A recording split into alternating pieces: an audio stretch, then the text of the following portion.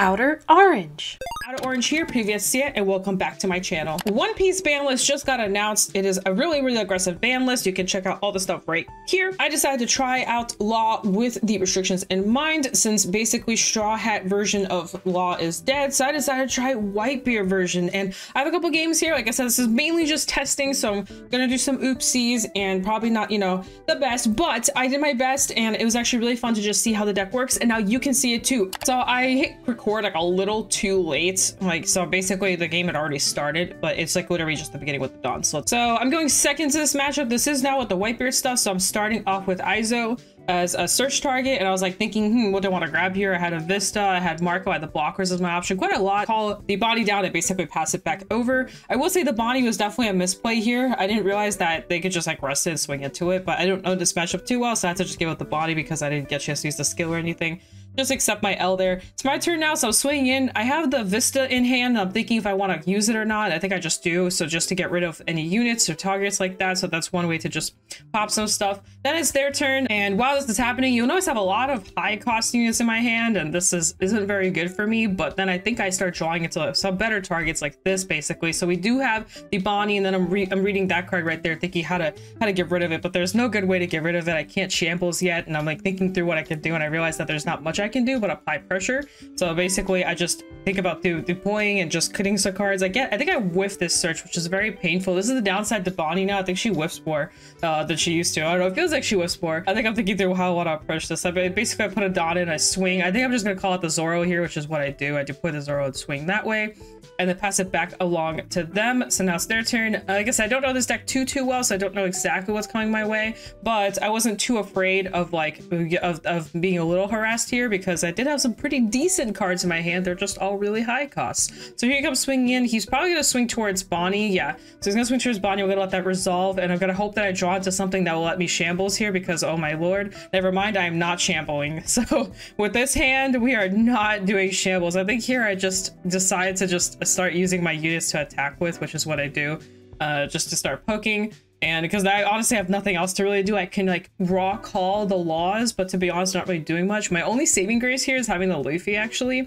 Luffy Luffy is definitely a good target to just have in hand to apply pressure a little bit later. So here I just go straight in. I know they're gonna rest my stuff anyway. I'm gonna try and swing into it. So I just said screw it. I put them to zero. I don't know what their hand was looking like, but I guess it was bad. And I think that was my saving grace this matchup. I'm not gonna lie. Uh, so I give up everything. They call it three blockers, by the way. And then I'm like, all right, let me see if I can find something. I find nothing with the Izo, and then I'm looking at the Luffy, and I'm like, you know what, screw it. I guess we're just gonna, I'm looking at the dog, look at the Luffy, I'm like, you know what?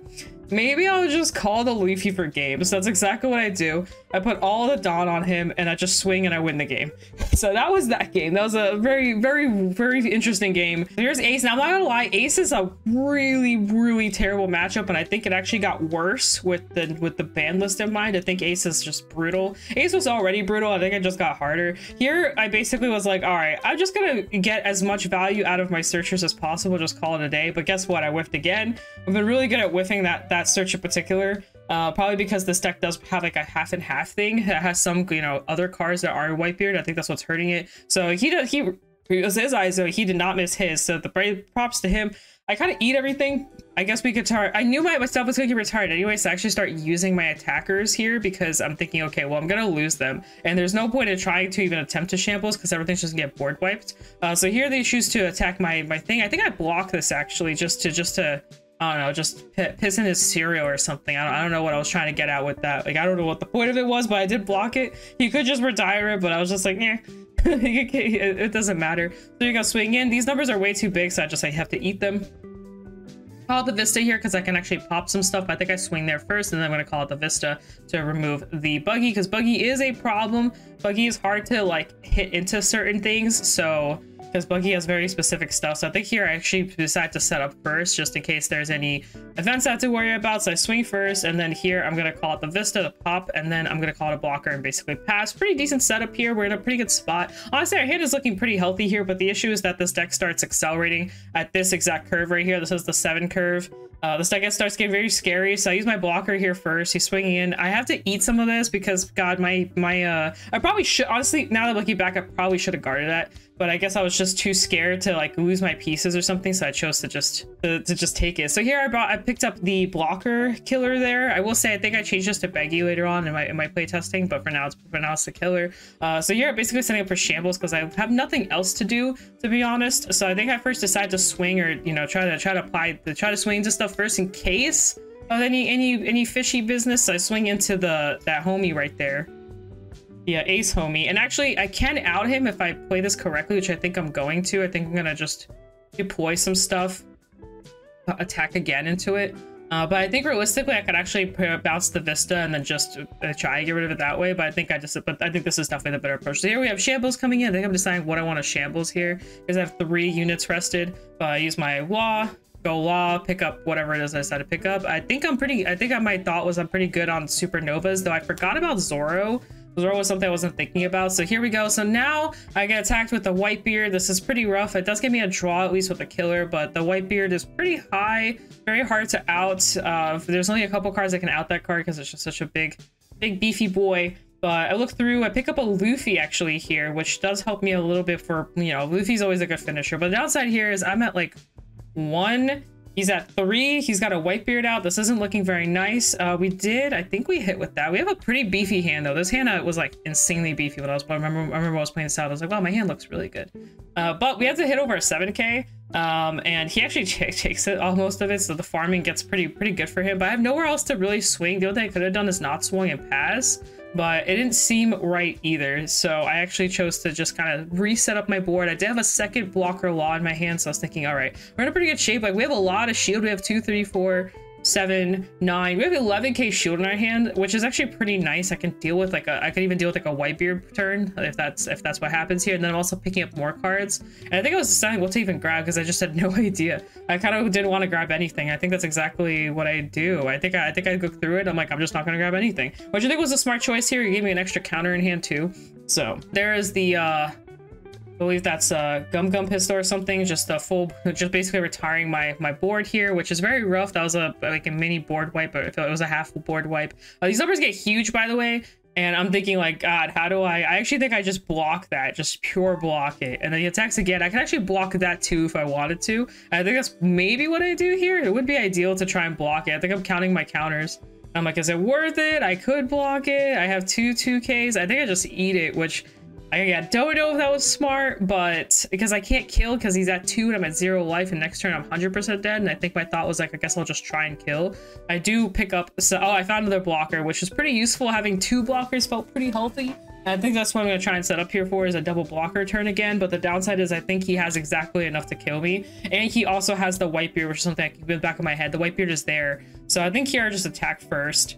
Again, in, in case of any events or any shenanigans that happen here uh, that that life is very scary against decks like this. Like uh, Zoro and and Zoro and Ace like scare the crap out of me when it comes to their life. Like they can just randomly like kill some really high targets here. So I'm thinking about how to set up here. Like I said, we got a lot of shield. I actually choose to go aggro here. I'm not really, again, I don't know. I think I, I remember now. I called so many 2k counters here, which was a big big mistake. I think this is where I actually think I would have won this game if I had played this correctly. So this was a really big mistake here I made. Calling out two 2Ks, I think actually cost me. I think I realized about halfway through how much it screwed me up. I do still bounce stuff, but I think my, my, my mind, I thought I had a blocker law in hand and I didn't. And I realized that I'm only bouncing one 2K instead of bouncing multiple. But then my brain was like, oh, maybe the blocker will, blocker will be enough. But look how much, look how much Dawn I left open. This is definitely like a very badly run law play, law play. So I, I of course lose here. There's no there's no way. The Whitebeard alone, like board wipes, was gonna retire one of my Dawn. I mean one of my blockers when he attacks. And also he minuses my stuff, and this is basically game. Funnily enough, had I just uh played a cautious game and I slowed it down here, I think I actually would have won because I'm gonna I'm gonna be able to block that, right? I can't I can block that, but I can't block the last one, and that's where where I got really hurt. I realized that I could block this one, but I can't block all of them. So I just basically lose there. That was definitely just to pause the game real quick. That was definitely, a, I, I definitely feel if I had just not called the 2Ks, um, and had just probably just swung raw and maybe called out the killer without shamblings, I think I would have been fine. I think trying to push for an extra attack there wasn't smart. But what scared me was I think the fact that it was a 2F and the fact that was a 0 and that they had a Whitebeard on the board that I couldn't out necessarily. And I think knowing that I didn't really have much time left forced me to decide like, okay, maybe I can just push here. Maybe because his hand was pretty small and I thought like maybe that would be enough. But that definitely probably wasn't the smart play. I, I called out a lot of counter that I could have used to guard through. Um, because he called out the ace and stuff, he didn't have much Dawn to work with to spread out his Dawn. And I think I would have been would have been fine. So I think the next game that's coming up is actually a kid game. And this one's actually pretty interesting. Uh, this is the last one, by the way. I think that this will be our last game for, for this for this video. But this one, I think I was a little uh, I, I faced kid in the past. I kind of knew this matchup a little bit better. But at the same time, I was like, well, we'll see what happens, basically. So let me, there we go. So there's Kid. There's there's our there's our boy Kid. Actually, this is the deck I started Child decks on. But anyway, here I think I just play the normal game plan of the Izo just set up. I obviously whiff again for the hundredth time. A lot of whiffing going on, but then I do another one, and this one had like a bunch of Whitebeard stuff. So I pick up a blocker and basically just pass it back to, to Kid. Kid swings. I was a little fearful of potentially trying to restand because sometimes they like to do that, but he didn't. He just called the Nami because this is with the film cards in mind. So I swing in. I have a very, very good hand here, by the way. This is this is pretty, pretty good stuff right here. So I basically just set up a board. Uh, they don't don't retire as heavily as far as I know. They can rest like that, but they don't really retire. So I wasn't too scared of losing my units. So I just let go of the blocker that he swings face, and I think I just eat this and just pass it back to me. I have a really, really good starting hand here. I have the Vista. I got the Got the Zoro. I got a lot of stuff to work with. I think here I choose to just try and out the Nami because that's usually where the farming starts happening. So I force out the shield and then call the Vista and basically just get rid of it anyway, uh, which was actually, I think, was a pretty, pretty smart play here. It was definitely good. So here I choose to rest and swing. Again, just trying to apply as much pressure as possible. And then I shambles here. Shambles use the ability to bounce all my stuff back and reset up my board to swing again with the Zoro. This, I think, was a very, very, very strong law move here. Just overall, just if this felt powerful, we removed board, we removed, we got some hand, we got some life. That was just really good. He goes in for the Zoro and just passes here. I guess there's not much else they could have done. And I think that was smart just to kind of hold off a little bit. So I set up now. I'm swinging with the Vista because I think I'm to actually pop that, that green card there. Uh, I do, I do pop the green card there. So I set up, I set up again. Not a Vista. We do, we can shambles here, but I think first I choose to just swing. Uh, there's the block. So here we're to shambles here, probably pick something up and bounce something back, and then I'll probably maybe I'm just, I think I'm deciding how I want to shamble since I have to pick up green and go to Bonney here. Uh, I think I use the Bonney effect here, grab myself a Luffy because I just that, that, game that card just saves me so many games and it's harder to find now. So here I go swinging to Bonney. People always swing to the Bonney, and you know there comes a point where I just don't care. And I just, I just, I'm like, all right, cool. I don't really care. Calls out another one of those Rester girls, swings right into the Vista. I'm like, fine. I have a plenty of cards to replenish with. I'm not too scared. Whips out the Chopper here. This is the Film Chopper. On attack, they can rest like a 2 KOS or something like that. So I'm not too scared of the chopper, however, I am thinking, all right, we probably need to out this board. So that's actually what I do. So I start off with the Vista here. And then I'm thinking, how am I gonna like, uh, oh, never mind. I guess I'm just gonna do that. Never mind. There's a thing, a point where I, the board just comes back and I have to play very carefully. The Vistas really pop off here. So here I can't, I have no way to shambles but green to red. That's actually what I do. It's a little risky. I'm not even gonna lie, y'all. This was, this is definitely not the smartest decision because of the restand. Uh, and I pick up I pick up the law here, and I think I go into like Luffy or Zoro. I don't know which one I picked, but I guess. I think I picked Zoro because I wanted the Luffy for next turn. So I actually go to Zoro, put up the Dawn on him, and swing. Um, this was very interesting because honestly, with my hand and two life, uh, there it was a it felt, it felt scary to do this because he could restand, you know, his his his dude. But I actually like realized I had enough guard to kind of deal with it, so I wasn't too too scared. But still, like this is what I was scared of. So that's a pretty aggressive turn. That's actually why I decided to call out the the Luffy here. So I had to think this through. I knew Killer could potentially save him the game here. And this is the part where things got hard. My Vistas were already on the board, but I really needed to get rid of that Vista ASAP because that draw could be the difference between me winning and losing the game here. So I had to think through how am I going to do this. I actually deploy, I think I deployed the Luffy just straight up raw. And I put the Dawn under him and I just swing it basically. But knowing because because I bounced the law, this actually helps because I can reset the Vista here. So I think I decide how I want to attack here, thinking through knowing about the killer, because like I said, the killer is the big difference here. We don't really care about anything else. There's one life left and one card in hand. But if he draws into another card, he could potentially save him the game here. So what I do is I think I shambles instead. Calling out the law, picking up the Vista, and then recalling out the Vista again here. So this pops the killer. So now I'm like, all right, now I have nothing to be scared of. There's no more blocker.